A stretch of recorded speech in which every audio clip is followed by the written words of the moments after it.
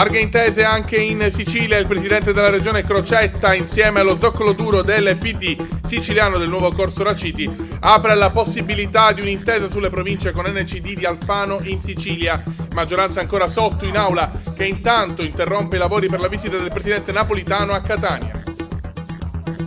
Un aeroporto sulla piana di Milazzo e l'audace proposta di sei comitati territoriali del Messinese che spingono per la realizzazione di un nuovo scalo sulla fascia costiera della Sicilia orientale. L'aeroporto avrebbe, dicono, importanza strategica anche sul piano commerciale. Scuola pubblica non può più attendere. Importante incontro questa mattina presso la bottega dei sapori della legalità di Libera a Palermo per parlare della necessità impellenti dell'istruzione pubblica non solo siciliana. Con un appello inviato alle forze politiche perché si presti maggiore attenzione nei confronti di un sistema cruciale del nostro paese. Gentili amici telespettatori, ben ritrovati all'appuntamento con l'informazione di CTS Notizie. Come abbiate appreso dai nostri titoli, si aprono spiragli in Sicilia per un governo di larghe intese sulla falsariga di quello nazionale. Rosario Crocetta incassa l'ennesima sconfitta in aula sul tema del riordino delle province, una serie di sconfitte legate ai mancati numeri all'interno della maggioranza che adesso potrebbe allargarsi a NCD di Angelino Alfano. Prove tecniche di larghe intese al governo regionale.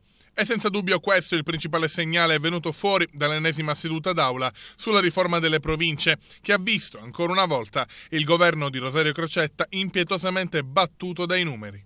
Anche sull'articolo 4 del testo governativo la maggioranza è andata sotto, affogata da quegli stessi franchi tiratori che la scorsa settimana avevano inanellato tre esecuzioni di fila impallinando la norma in sala d'Ercole. In particolare, a far le spese dell'attuale squilibrio di forze in Parlamento sono state le quote rosa nelle assemblee dei liberi consorsi che dovrebbero soppiantare le province. Troppo tempo è andato perduto sull'impasse d'aula nella discussione delle province, con Crocetta ostaggio dei suoi stessi alleati. Il governatore ormai ci è arrivato, bisogna cambiare lo status quo e dunque cercare alleanze dietro le linee nemiche. In questo senso va analizzata l'apertura di governo e PD al gruppo NCD all'Ars. Prima da Antonello Cracolici e poi addirittura dal neo segretario regionale Raciti sono giunte parole distensive, mirate ad una possibile intesa con gli alfaniani. Nulla di ufficiale ancora, ma Crocetta pare stia seriamente pensando alla faccenda che riequilibrerebbe le forze in aula. Un'intesa che avrebbe non solo pro, ma anche i suoi contro. La maggioranza andrebbe sì a guadagnare qualche deputato nel centro-destra, ma perderebbe l'intera forza grillina, da sempre favorevole all'abolizione degli enti intermedi. I tempi si prospettano ancora lunghi e Crocetta avrebbe dalla sua un paio di nomine dirigenziali da offrire in cambio di una riproposizione alla siciliana delle larghe intese nazionali. Intanto, oggi sarà tutto fermo a Palazzo dei Normanni a causa dell'assenza di presidente della regione, d'assemblea e svariati deputati richiamati dalla visita catanese del capo dello Stato Giorgio Napolitano. E la giornata eternea del Presidente della Repubblica si è dimostrata piuttosto densa di impegni. Dopo l'incontro in municipio con la firma sul patto per il sud-est, al quale erano presenti, oltre al sindaco di Catania, Enzo Bianco, anche il Presidente della Regione Regione Rosario Crocetta e quello dell'Ars, Giovanni Ardizzone, il capo dello Stato ha discusso di politiche per il meridione, chiedendo non solo attenzione alle istituzioni nazionali, che si dimostri capacità iniziativa, aspetti essenziali, ha dichiarato, perché non c'è la politica nazionale che da sola possa risolvere i problemi del mezzogiorno. Questa, ha proseguito Napolitano parlando di Catania, è una città che si muove e questo è importante. A scandire la visita di Giorgio Napolitano è stata anche la protesta dei dipendenti catanesi della Micron, scesi in strada per protestare contro il piano di esuberi annunciato dall'azienda leader del settore dei semiconduttori e per chiedere aiuto proprio al Presidente della Repubblica. Partiamo con la pagina di cronaca. Si è costituito al carcere Pagliarelli di Palermo l'avvocato Alfredo Tortorici, legale ricercato dai carabinieri nell'ambito dell'indagine che ieri ha portato a 27 arresti per il tentativo di una truffa finanziaria. Tortorici è accusato appunto di truffa, riciclaggio e associazione per delinquere. Secondo l'accusa sarebbe uno dei promotori della truffa da 40 milioni di euro al Monte dei Paschi di Siena sventata dagli inquirenti. Ci spostiamo ad Agrigento dove un incendio di origine dolosa ha distrutto lo stabilimento Maracaibo di San Leone, appunto in provincia di Agrigento. I vigili del fuoco hanno impiegato quasi quattro ore per domare le fiamme altissime. Sul posto anche la polizia che indaga sull'accaduto e non esclude l'ipotesi che si tratti di racket delle estorsioni. Servizio. Un film visto e rivisto, gli incendi di stabilimenti balneari lungo il viale Reddune a San Leone, località balneare di Agrigento, e quasi sempre alla vigilia dell'avvio della stagione balneare. L'11 marzo 2010 venne dato fuoco al Papete Beach, il 3 maggio 2008 toccò all'Accamora, il 14 aprile, sempre dello stesso anno, all'Holiday Park, senza contare due incendi che distrussero in periodi diversi, il 3 dicembre 2011 e il 22 luglio 2012, il Baraonda. Adesso nel mirino, forse del racket, finisce il Maracaibo, locale alla moda moda, uno dei preferiti nel periodo estivo della Movida Agrigentina, aperto 24 ore su 24. Un incendio sulla cui matrice sono in corso indagini ha letteralmente mandato in fumo il locale, bar, pizzeria, ristorante e pub. Le fiamme sono state favorite alimentate dal legno della struttura. L'inferno è esploso intorno alle 21 di ieri. L'allarme è stato lanciato da alcuni automobilisti che si sono accorti del fungo invernale giallo e rosso che si è sprigionato oltre la pedana in legno nel boschetto verso il chiosco costruito sulla spiaggia a pochi metri dal mare, come tanti altri che insistono sono lungo il viale delle Dune. Sul posto sono intervenuti in forza i vigili del fuoco del comando provinciale di Villa Seta. Per avere ragione delle fiamme sono state necessarie diverse ore di duro lavoro e ben tre autobotti. Se la matrice fosse dolosa, l'anonimo o gli anonimi piromani hanno agito senza attendere la complicità della notte in un orario nel quale i locali del viale delle Dune sono particolarmente affollati, soprattutto ieri giornata di festa per San Gerlando, patrono di Agrigento. Al Maracaibo hanno lavorato non solo i vigili del fuoco ma anche i poliziotti della squadra volanti alla ricerca della causa che ha provocato il disastro. Restiamo purtroppo su questo argomento per parlarvi di una tragedia sfiorata. A Trapani, una mamma e i suoi due bimbi hanno rischiato di rimanere vittime di un incendio divampato nella loro abitazione in uno stabile del centro storico. Le fiamme, causate probabilmente da un cortocircuito, si sono rapidamente propagate all'interno dell'appartamento. Solo l'intervento della polizia ha evitato il peggio e tratto in salvo la donna e i due eh, bambini. Sul posto anche i vigili del fuoco che hanno domato il rogo e messo in sicurezza lo stesso immobile. Ed emergono nuovi risvolti dall'inchiesta sull'omicidio di Maria Concetta Velardi, la vedova 59enne assassinata il 7 gennaio scorso nel cimitero di Catania a colpi di pietra. Una coppia di romeni, 36 anni lui, 35 lei, sono stati iscritti nel registro degli indagati. Sale così a 5 il numero delle persone inserite nel fascicolo aperto dalla Procura Etnea che, come atto dovuto, aveva già indagato il figlio della vittima e altre due persone, un giovane e un anziano che conoscevano la donna e che, nel giorno del delitto, sarebbero stati in quella zona zona. La Procura di Catania ha precisato che anche per la coppia di romeni l'iscrizione nel registro degli indagati è un atto dovuto, sottolineando che si è molto lontani dal fatto che possa esserci un'accusa diretta. Il macabro omicidio, dunque, resta tuttora un giallo avvolto nel mistero. Ci fermiamo per una brevissima pausa pubblicitaria, il nostro rientro lo proseguiremo con la pagina di cronaca, restate con noi.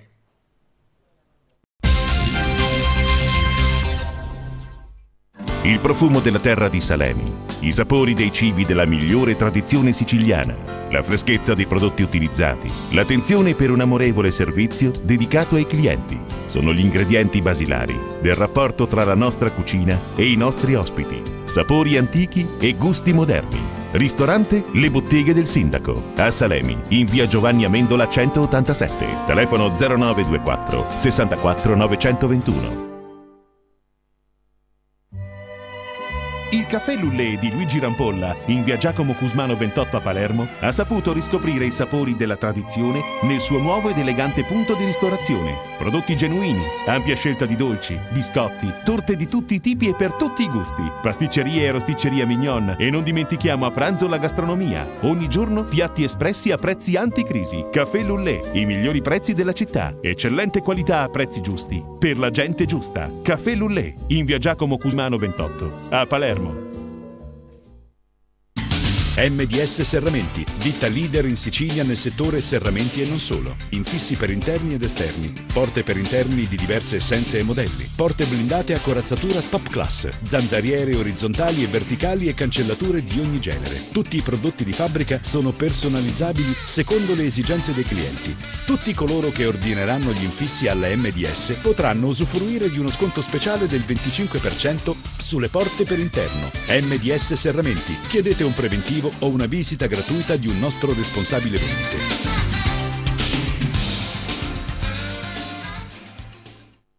Vialdi presenta il nuovo materasso Memory One, progettato per garantire il massimo del comfort. Formato da una lastra in tecnopolimero bugnato ed una in memory foam completamente avvolgente, il tutto in un comodo guscio sfoderabile e lavabile. In pratica è come avere due materassi in uno. Un concentrato di tecnologia a soli 249 euro per la versione matrimoniale e 199 euro per quella singola, pagabili a rate anche senza busta paga.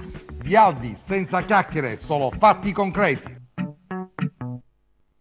Bentornati in studio, parliamo di emergenza immigrazione, quasi 800 migranti soccorsi nelle ultime 24 ore nel canale di Sicilia. Gli interventi sono stati effettuati in diversi momenti dalla Marina Militare e dalla Guardia Costiera. Lo fa sapere attraverso una nota alla Marina. Sono andate avanti senza sosta per tutta la notte scorsa le operazioni di soccorso ai migranti provenienti dalle coste africane da parte dei mezzi aeronavali impegnati nell'operazione Mare Nostrum nello stretto di Sicilia. Scrive appunto la Marina. La nave anfibia San Giusto è intervenuta per soccorrere due gommoni, entrambi con 97 persone a bordo, senza dotazioni di sicurezza personali. La fregata Grecale, invece, ha soccorso 100 migranti a bordo di un natante nella stessa zona di Mara, sud-est di Lampedusa.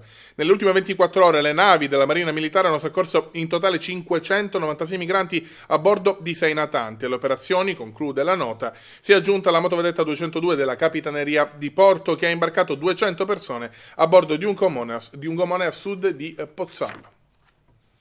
E tre arresti per detenzione e spaccio di stupefacenti sono stati effettuati dai carabinieri a Terranova, in provincia di Messina. Tra gli arrestati anche due palermitani. I dettagli.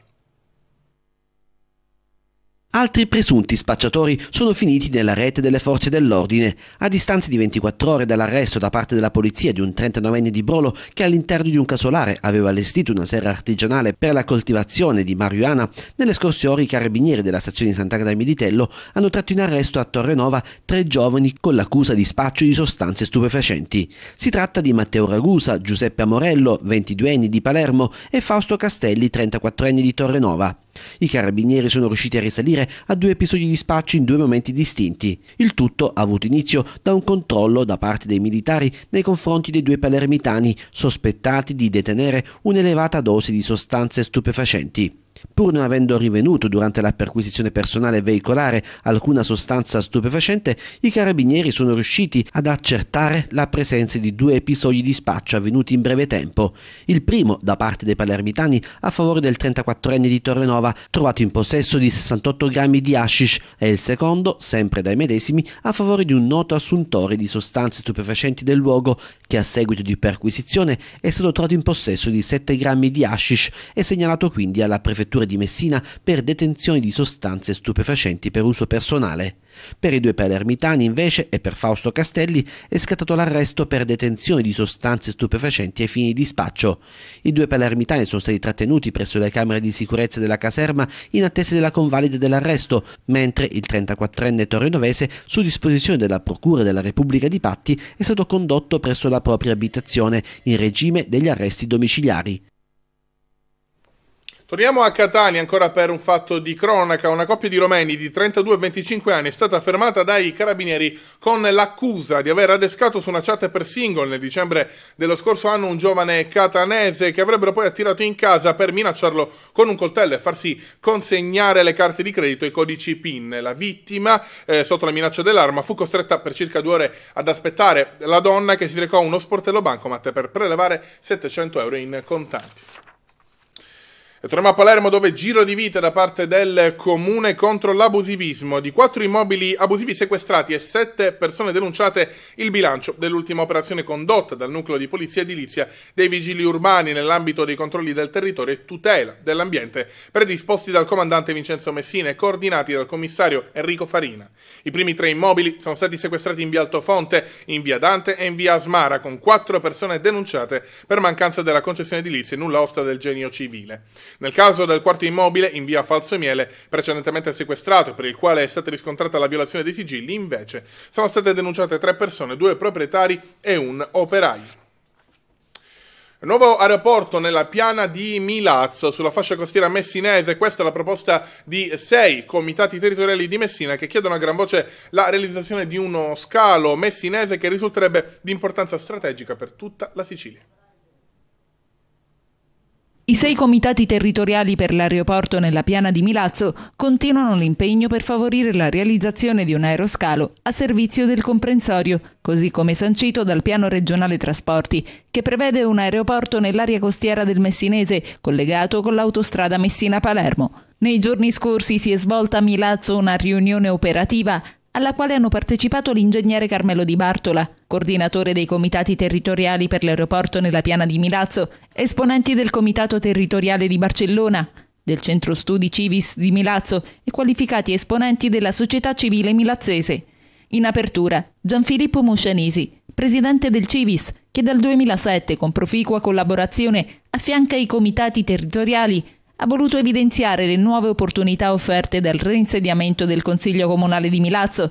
L'ingegnere Di Bartola è intervenuto per fare un quadro generale delle ultime iniziative dei comitati, rendendo noto che lo scorso 17 febbraio sono state inviate al Presidente del Consiglio Comunale di Barcellona e ai Presidenti delle commissioni consigliari competenti richieste di convocazioni informali dei rispettivi organismi che consentano ai comitati territoriali di esprimere il loro punto di vista e le loro osservazioni sullo stato di avanzamento del progetto. Lo stesso Di Bartola ha riferito che entro qualche settimana saranno resi noti i primi nominativi dei componenti di un nuovo comitato tecnico scientifico che sarà di supporto alle attività dei comitati e dal sogno da parte di Milazzo e Barcellona Pozzo di Gotto di avere un proprio aeroporto ci spostiamo invece a eh, Messina. Più di 300 milioni di euro a disposizione del polo universitario appunto di Messina, approvato all'unanimità dal Consiglio di amministrazione dell'Ateneo il bilancio di previsione 2014. Il documento è già stato approvato dal Senato accademico e dal Collegio dei revisori dei conti. Dettagli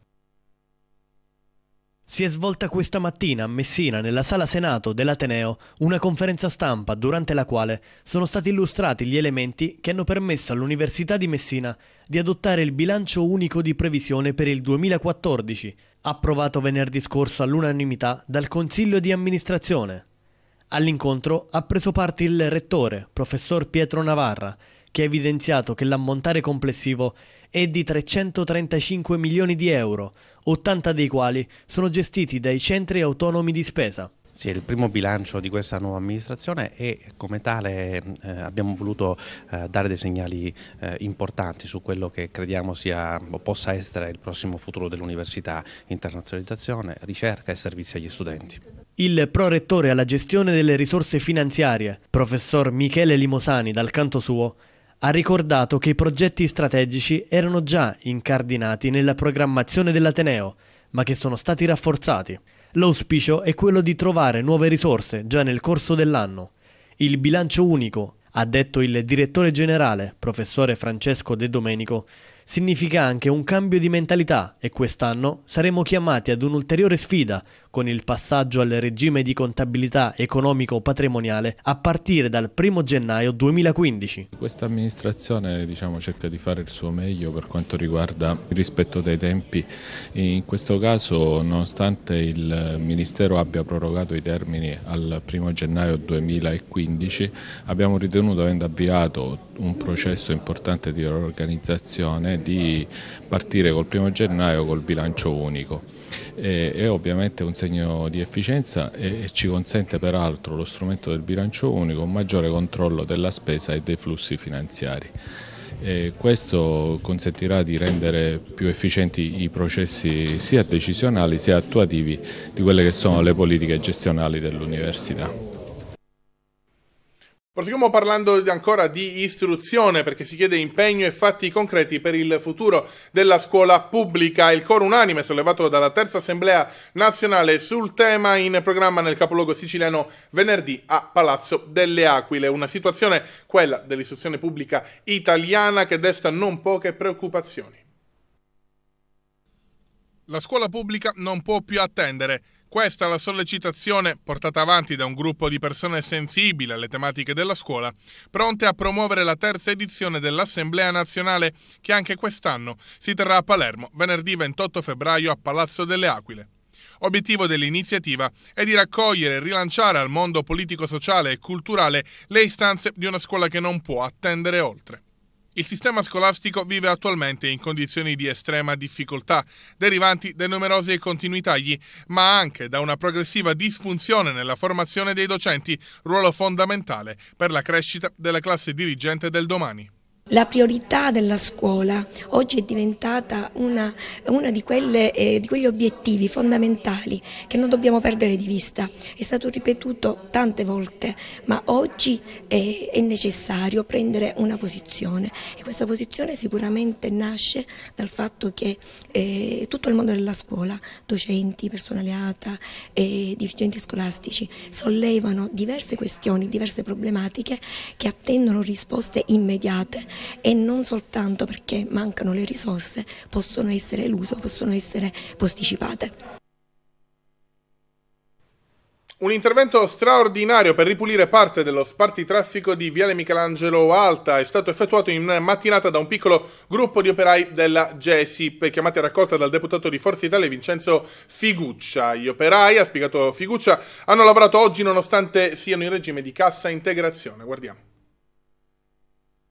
Giorno di pulizie straordinarie in Viale Michelangelo dove un piccolo gruppo di operai della GESIP allertati dal deputato di Forza Italia Vincenzo Figuccia sono intervenuti per sgomberare un'area invasa dai rifiuti e in completo stato di abbandono. L'intervento è stato effettuato nello spartitraffico che divide le due corsie di Viale Michelangelo all'altezza del mercato del CEP dopo la via Brunelleschi. Figuccia ha voluto ringraziare gli operai della GESIP che si sono adoperati per ripulire l'area da rifiuti e sterpaie nonostante pur essendo in cassa integrazione migrazione, come ha ricordato lo stesso deputato Forzino, non abbiano percepito l'assegno che gli spetterebbe proprio in qualità di cassa integrati.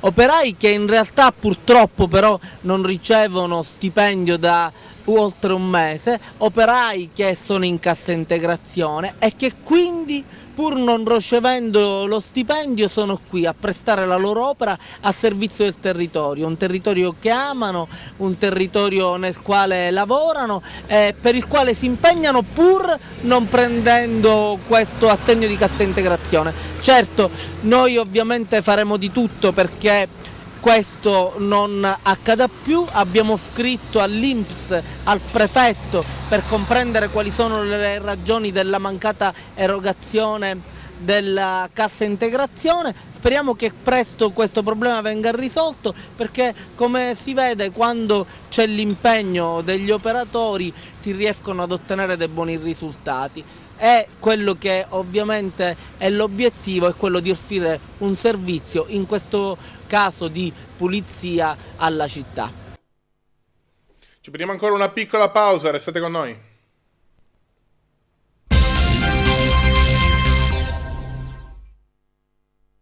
Tantillo Colori di Tantillo Salvatore, leader da 40 anni nel mondo del colore, vi dà il benvenuto nel suo showroom. Ed ecco le interessantissime offerte riservate ai nostri clienti. Caldaia Ferroli Divatec kW 24 489 euro. Scaldabagno 80 litri di Unboiler 79 euro. Scalda salviette bianco altezza 80 cm 44,90 euro. Una latta di lavabile più rullo, tela, retina e pennello euro 29,90. Radiatore presso flusso in alluminio 9 euro. 6 tubi di silicone Bostic 9,90 euro. Stucco 20 kg 8,50 euro. Ducotone delle migliori marche 44,50 euro. Ogni 5 latte di pittura 3 latte di stucco o fissativo in omaggio.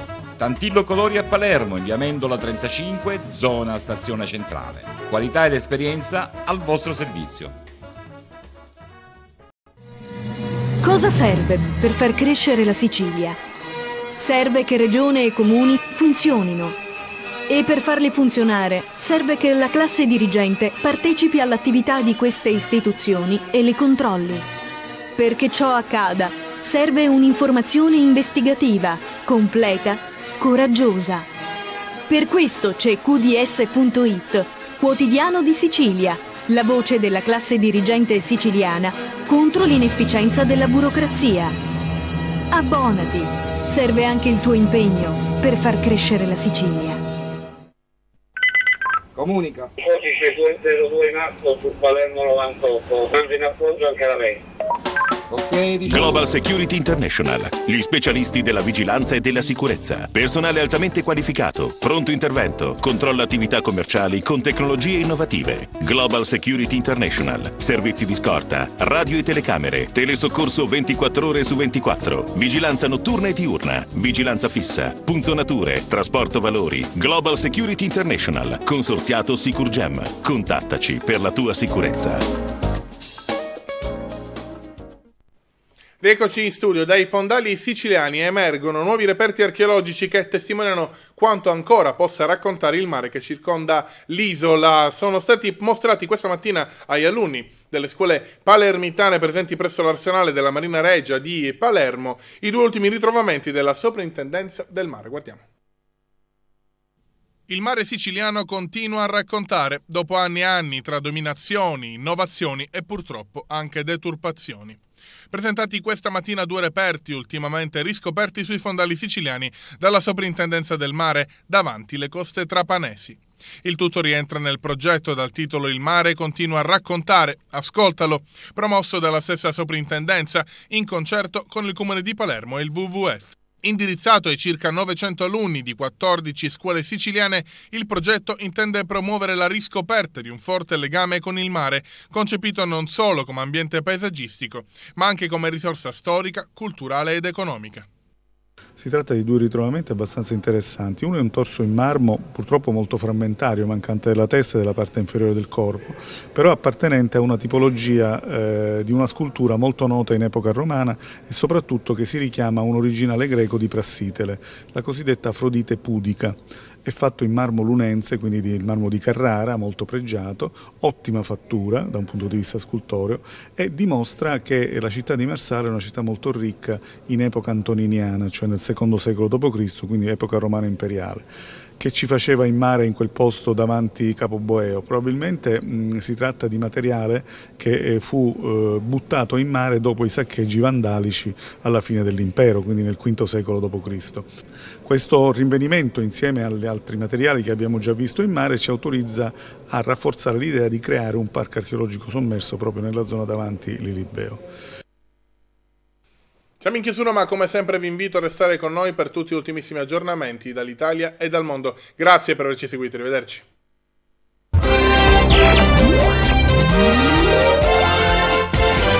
A Treviso la prima visita ufficiale per il neopresidente del Consiglio. Incontrati gli insegnanti e gli studenti di una scuola media. Renzi si è trasferito poi al Museo di Santa Caterina. In seguito si recherà in comune. Dopo un colloquio con il sindaco, il Premier dovrebbe incontrare anche gli operai della Electrolux e altri lavoratori in difficoltà. E invece a Catania il presidente napolitano. Il capo dello Stato parteciperà questa mattina ad un incontro con gli imprenditori siciliani. Nel pomeriggio visita lo stabilimento della STM nel distretto industriale Etneo. Agli arresti domiciliari con l'accusa di corruzione l'ex capo dei vigili urbani di Roma, Angelo Giuliani. Secondo la procura avrebbe fatto ottenere irregolarmente un appalto alla SEA, che si occupava della pulizia delle strade dopo ogni incidente. Arrestati anche tre rappresentanti della società. È morto Alfredo Famoso, il tassista di 68 anni aggredito domenica a Milano dopo una lite in strada. Questa mattina l'interrogatorio dell'aggressore. La Procura di Milano sta modificando il capo di imputazione in omicidio volontario. Non sarà presente all'udienza in Cassazione Raniero Busco, ex fidanzato di Simonetta Cesaroni, uccisa nel 1990 e unico imputato del delitto. Oggi la Corte decide se confermare la soluzione per non aver commesso il fatto accordata in appello. In primo grado Busco era stato condannato a 24 anni di carcere. Due gommoni con a bordo 197 migranti sono stati soccorsi nella notte dalla Marina Militare a sud-est di Lampedusa. Quasi 600 le persone tratte in salvo nelle ultime 24 ore nel canale di Sicilia. Ucraina verso il nuovo corso dopo la cacciata di Yanukovych e Mosca invia i carri armati nella russofona Crimea. Nella penisola è distanza la flotta russa del Mar Nero e la popolazione manifesta da giorni per la secessione da Kiev.